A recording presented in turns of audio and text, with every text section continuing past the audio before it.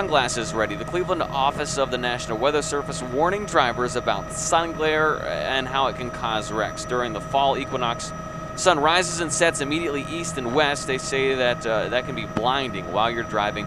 The most dangerous time to drive the first 10 to 15 minutes after sunrise, guys.